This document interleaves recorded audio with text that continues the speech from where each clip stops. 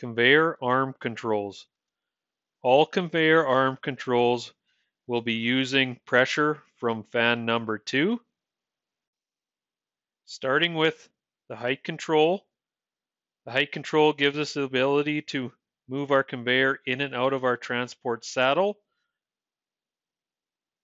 Pressure from fan number two will be activated for this feature through SV8.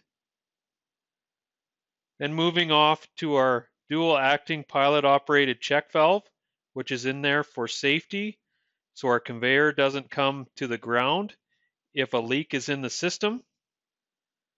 Also, you'll notice that we have a relief valve in here, and this is for our downstroke of the cylinder when we go to put it away in our transport saddles. So if we follow our pressure from fan number two along over to our solenoid that's in SV8 for our height control, pressure from there will go to our dual acting pilot operated check valve. And then also in that circuit, you'll notice that we have our relief valve. That relief valve is set to 1000 psi. And again, it's for when we're putting the conveyor away into the saddle. This will give us so that we don't overpressure it and bend the conveyor. Moving out from the main valve block, we have pressure leaving through an orifice out to our cylinders, and then simply the return back into the main valve block again. Inner arm control. Pressure from fan number two will be controlled into this circuit through the solenoid that's in SV6, then off to our pilot operated check valve that is in there so the conveyor arm won't creep and has to be operated by pressure. Following the hydraulics, fan number two pressure going through the main valve block to the solenoid that's in SV6, then to our pilot operated check valve.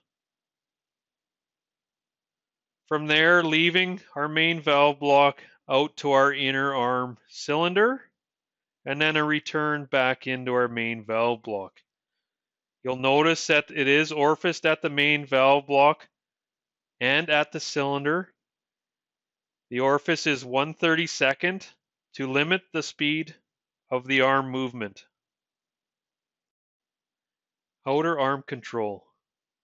Fan 2 pressure is activated into this circuit using the solenoid in SV7 then moving to our PO check valve, which is there to stop our cylinders from seeping while in use and also needs to be activated by pressure.